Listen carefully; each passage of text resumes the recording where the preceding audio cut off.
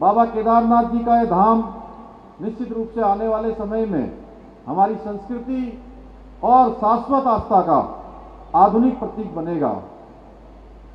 इस मंदिर को बनाने में ना केवल शिव भक्तों की आस्था को बल मिलेगा, बल्कि सनातन संस्कृति का भी प्रचार और प्रसार होगा।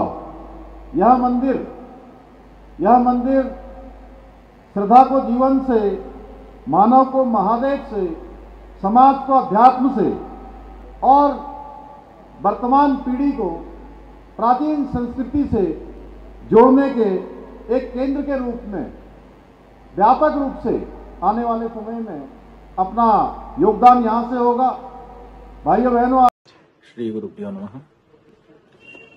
ये जानकारी मिली है कि कुछ लोग उनके जो भी कारण हो, उन कारणों से भगवान श्री केदारनाथ जी, जो कि हमारे द्वादश ज्योतिर्लिंगों में से एक हैं, और केदारम हिमवत पृष्ठे कह करके जिनको हिमालय में जिनका पता बताया गया है, उनका मंदिर दिल्ली में बनाना चाहते हैं। ये उचित नहीं है। हम ऐसे सभी लोगों से कहना चाहेंगे। अगर वो श्रद्धालु हैं तो उनको हम बताना चाहेंगे।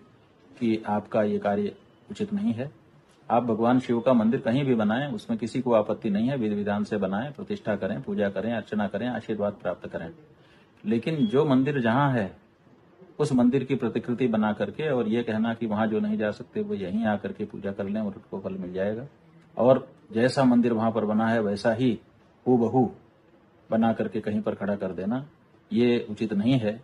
जैसे जो कोई अपराधी किसी का वेश धारण करके अगर किसी के सामने पहुँच जाता है और वहाँ पर ये कहते हुए कि मैं वही हूँ, कार्य करता है तो जैसे अपराध माना जाता है, उसी तरह का ये कार्य है। ये ठीक नहीं है।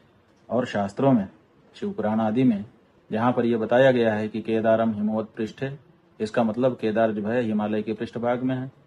तो जो पता हिमालय का बताया गया है, अब वो पता दिल्ली का कैसे शास्त्र में हो जाएगा? तो ये लोगों में बहुत बड़ा भ्रम उत्पन्न करेगा। इसलिए इस तरह का कार्य करना उचित नहीं है।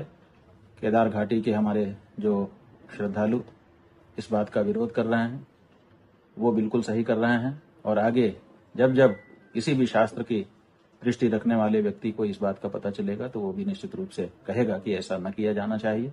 इसीलिए हम आप सबसे अनुरोध करना चाहेंगे कि इस तरह के विचार को त्याग दीजिए। किसी और रूप में, किसी और नाम से भगवान की आप आराधना करिए, वहाँ पर बहुत दिव्य भव्य मंदिर बनाइए, उसमें लोग आकर्षित हों, उसमें कोई बाधा नहीं है।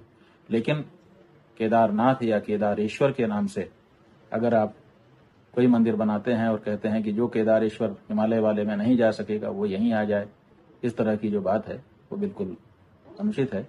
इसको त्याग करके इस विचार को भगवान की आराधना के लिए जो सही मार्ग है, उसको सब लोगों को अपनाना चाहिए, यही हमारा कहना है।